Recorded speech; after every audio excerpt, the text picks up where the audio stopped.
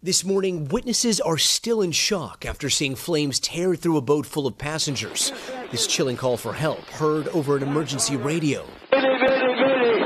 The 75 foot diving vessel, the Conception, going up in flames early Monday morning off the coast of California's Channel Islands. It's just horrendous. I mean, I can't imagine you know, those poor people, out, it, was, it had to have been just a, a, horror. Bob Hansen had been sleeping aboard his boat, the Grape Escape, when he heard banging on the side of his hull. Yeah. And uh, hearing somebody pounding on the boat and, and yelling, I opened the door, and the five guys are there in their dinghy.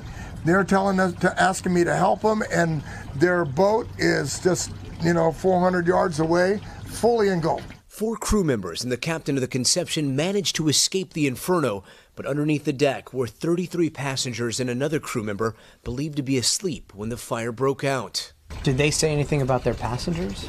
They said all, th- all of them were underneath. They told me then that, the, that there was another exit, but that that exit was also blocked. So there were two there were two there were, ways out. Yeah, but both of them were blocked. Both of them flames? were blocked. The boat's location made it difficult for responders to reach. The Coast Guard calling all boats nearby to help. Any vessels in the area that can lend any assistance, please do so.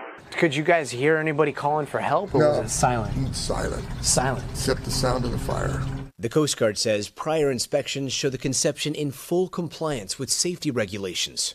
This is probably the worst case scenario you could possibly have. Photos show the cramped sleeping quarters below deck. I could see holes on, you know, that there was fire on the other side of that window.